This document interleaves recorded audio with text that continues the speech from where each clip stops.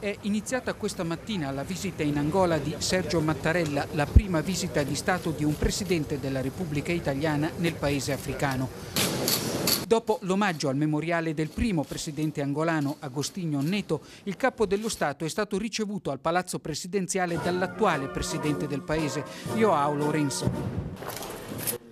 Nel loro colloquio i due presidenti hanno approfondito lo stato dei rapporti bilaterali e firmato un memorandum d'intesa per la collaborazione economica e politica tra l'Italia e l'Angola. Abbiamo convenuto che vi sono ampi margini di aumento di questa collaborazione, di una collaborazione crescente tra aziende angolane e aziende italiane in diversi settori, alcuni di particolare interesse come quello dell'agroalimentare, quello della delle infrastrutture accanto a quello dell'energia. Sergio Mattarella ha invitato in Italia il presidente Joao Lorenzo. Nel pomeriggio ha visitato l'ospedale Divina Provvidenza gestito a Luanda dall'opera Don Calabria. Domani terrà un discorso all'Assemblea nazionale angolana.